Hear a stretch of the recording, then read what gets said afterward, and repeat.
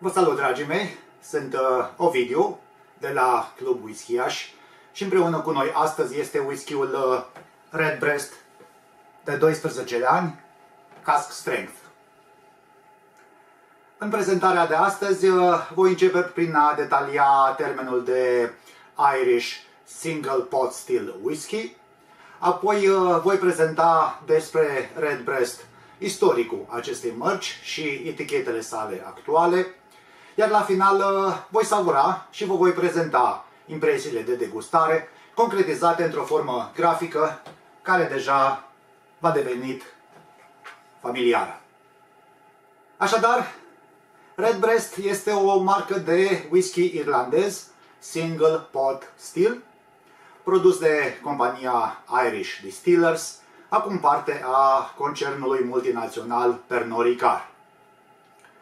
Termenul de single pot still este un uh, stil de whisky irlandez produs uh, de o singură distilerie, de aici denumirea de single, dintr-un uh, mash, dintr-un amestec în care este folosit atât orzul malțificat cât și orzul nemalțificat.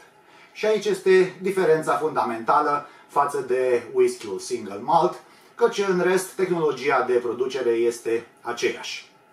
Whisky-ul uh, de tip uh, single pot still irlandez este în general uh, triplu distilat, o altă diferență față de single malturile scoțiene în general, dar fără ca aceasta să fie impusă de o lege sau de vreo regulă. Whisky-ul de tip pot still a apărut la final de secol XVIII, după impunerea în 1785 de către coroana britanică a ceea ce s-a numit malt tax, o taxă pe care distileriile trebuiau să o plătească funcție de cantitatea de orz malțificat folosită la distilare. Pentru că aceasta era principala metodă de producere a whisky-ului în Irlanda la acea vreme.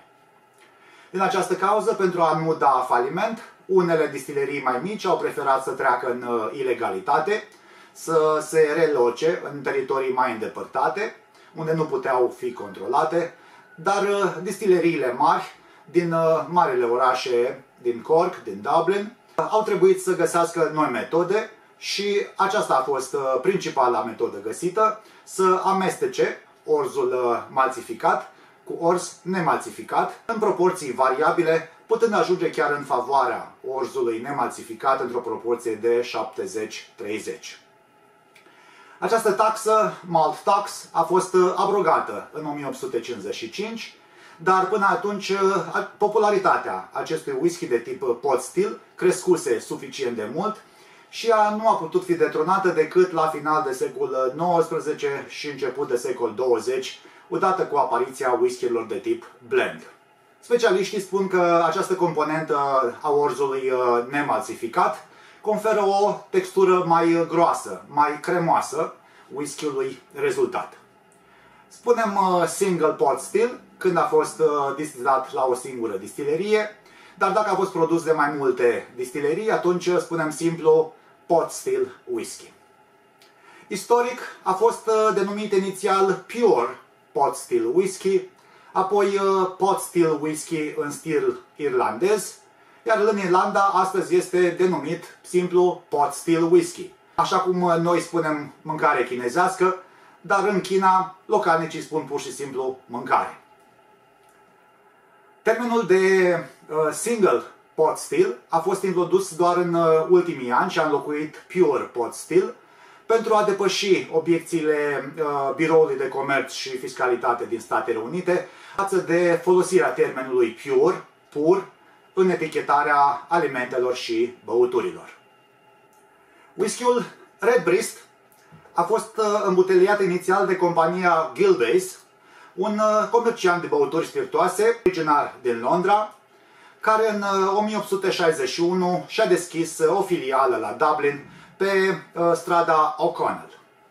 La acea vreme era un lucru obișnuit ca distileriile să vândă distilatul diferiților comercianți de băuturi alcoolice, în special vin, care aveau în depozite o cantitate suficientă de butoaie în care puseseră vinuri fortificate de tip sherry și în care aceștia puteau matura distilatul uh, și îl păstra timp mai îndelungat pentru a-i conferi caracteristici deosebite. Prima mențiune despre utilizarea termenului Redbreast datează de-abia din 1912, când a fost pus pe piață un produs Redbreast JJ Liquor Whisky, folosind distilat provenit de la distileria de pe Dow Street din Dublin, care producea marca Jameson. Redbreast Pitulice este o poreclă dată uneia dintre whisky-urile de, de la acea vreme de către președintele Gilbase, care era un uh, pasionat observator al păsărilor. Redbreast, pitulicea, este o pasăre foarte iubită în Irlanda, căci este una dintre puținele care iernează acolo și al cărui uh, ciripit poate fi auzit tot timpul anului. Compania actuală proprietară, Irish Distillers Group, a fost înființată în 1966 uh, între cele trei firme uh, principale producătoare de whisky irlandez de la acea vreme, Cork Distilleries, John Jameson and Son și John Power and Son, pentru a-și uh, pune împreună uh, logistica și capacitățile de producție pentru a depăși marea criză a whisky-ului irlandez de la jumătatea secolului uh, trecut. În anul 1971, distileriile Irish Distillers, care erau în Dublin, au fost închise și au fost mutată capacitatea de producție la o nouă distilerie, New Middleton, în comitatul Cork, astfel încât și producția Redbreast s-a mutat de la Dublin la Cork. În 1985, Gilbey a încetat producția mărcii Redbreast și un an mai târziu, 1986, a vândut marca către Irish Distillers.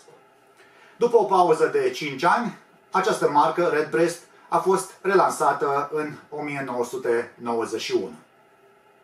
Whiskyurile Redbreast sunt, ca majoritatea whiskyurilor irlandeze, triplu distilate. Această ediție, Redbreast Cask Strength, are și frățiori mai mici și frățiori mai mari, o să-i trecem uh, acum în revistă. Ediția de 12 ani, îmbuteliată la 40% concentrație alcoolică, cu mica excepție din Africa de Sud de 46%. Este învechită în uh, butoaie ex-sherry, oloroso și butoaie ex-bourbon. Uh, are și o variantă din punct de vedere al ambalării, numită Project Wingman Bird Feeder, în care sticla vine învelită într-o cușcă de cupru, care poate fi scoasă și folosită ca metodă de a hrăni păsările din sălbăticie. De asemenea, pentru fiecare sticlă din această ediție vândută, distileria oferă 3 euro către, unde, către o fundație, BirdLife International, care se ocupă de protejarea păsărilor. O altă etichetă uh, din Core Range, Redbreast Lustau Edition, îmbuteliată la 46% concentrație alcoolică, are whisky învechit între 9 și 12 ani, în butoaie tradiționale uh, de bourbon și sherry, înainte de a fi finisat timp de circa un an în butoaie uh, sherry de tip Butts, provenite de la producătorul spaniol Bodegas Lustau. Urmează ediția de 15 ani, cu concentrație 46%, învechită în butoaie ex-sherry și ex-bourbon. Ediția de 21 de ani, 46% concentrație alcoolică, maturată doar în butoaie de sherry oloroso, lansată prima dată în 2013 și decanul de vârstă, Redbreast 27 de ani, 54,6 concentrație alcoolică, maturată în butoaie de vin de Porto.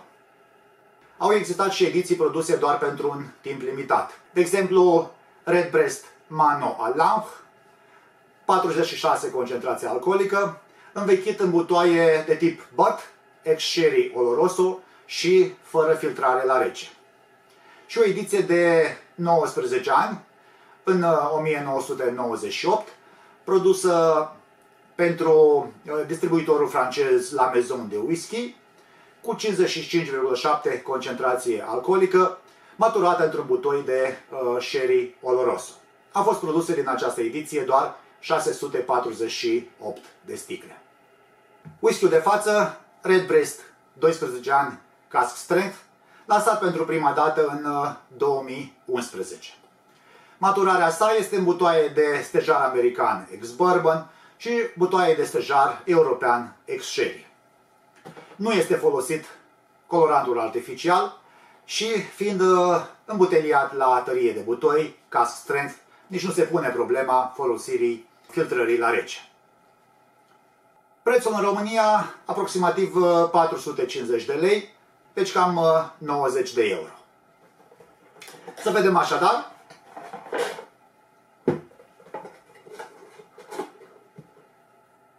Am uh, pregătit un instrumentar mai complex astăzi, pentru că fiind un whisky cast strength, e bine să-l savurăm și la tăria lui propriu-zisă, dar și să-l diluăm cu câteva picături de apă pentru a-i pune în valoare uh, bogăția de arome și gusturi pe care uneori uh, concentrația alcoolică ridicată le poate masca.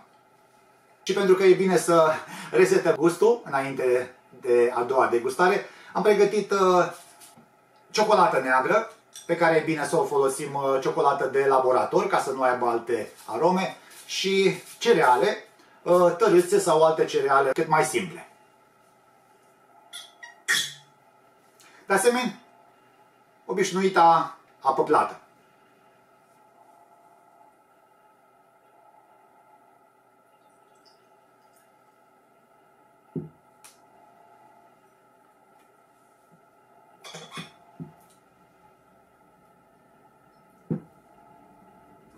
O culoare, o culoare aurie, foarte frumoasă. Spuneam, nu a fost folosit colorantul artificial. La miros, mirosul începe cu notă alcoolică, clar, dar nu e, uh, nu e foarte agresivă. Sper să se poată prinde urbele foarte interesante de pe pereții paharului, o viscozitate frumoasă. Spuneam, uh, alcoolul este prezent, dar nu e deranjant.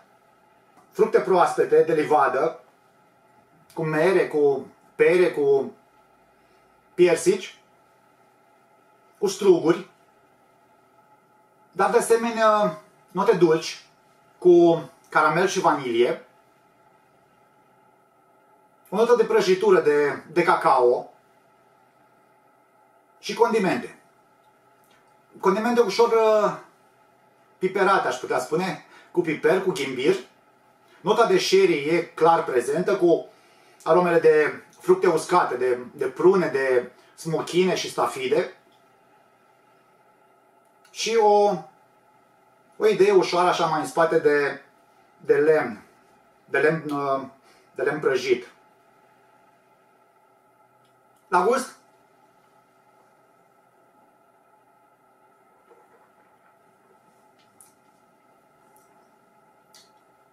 Senzația e cremoasă. Primul atac e, e dulce. Primele gusturi sensibile sunt cele dulci. Și apoi vin în valuri condimentele. De asemenea, notă fructată, cu, aici cu mai multă fructe de pădure și fructe uscate, dar și ușor mai amărui de, de cafea de stejar. Un gust uh, foarte, foarte complex. Sunt straturi care clar necesită o picătură de apă pentru a se deschide mai mult. Eu voi uh, face și resetarea, dar filmarea vă părea o filmare continuă.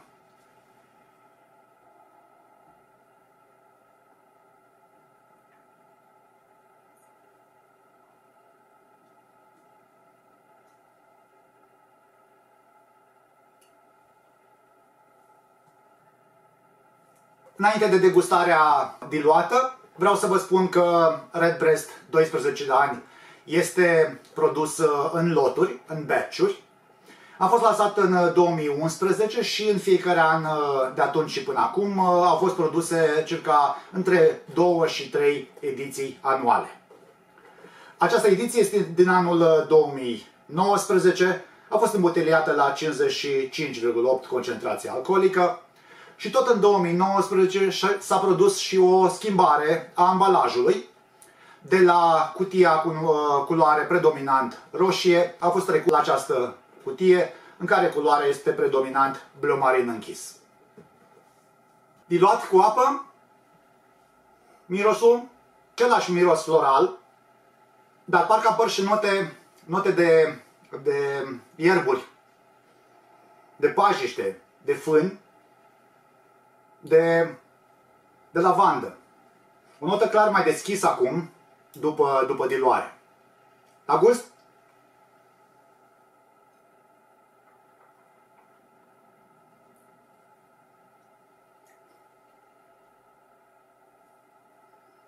Acum sunt și mai frumoase urmele de pe pereții paharului. La gust parcă senzația de dulce persistă mai mult, cu caramel și vanilie, dar de asemenea cu acel zahăr brun uh, special sub formă de melasă. Fructele uh, capătă mai multă note tropicale, așa mi se pare mie, cu pepene galben, cu mango, cu ananas.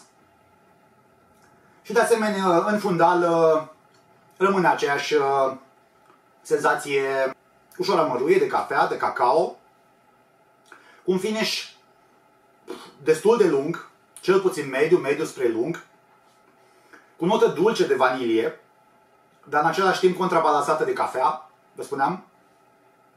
Condimentele, condimentele parcă acum sunt, uh, nu mai sunt așa agresive ca piperul și ghimbirul, sunt mai mult condimente lemnoase, de gen uh, scorțișoară sau uh, cuișoare și nota lemnoasă. Punându-le în uh, grafic, Redbreast 12 ani, florile și fructele sunt dominante, 2 puncte și jumătate din 3, condimentele, 2 puncte din 3 și ele ușor de găsit, ușor mai uh, agresive în prima parte, mai uh, dulci după diluare cu apă. Este un whisky destul de dulce, 2 puncte din 3, Lemnul și cerealele, un pic mai în spate, necesită un pic mai multă atenție, un punct și jumătate din trei.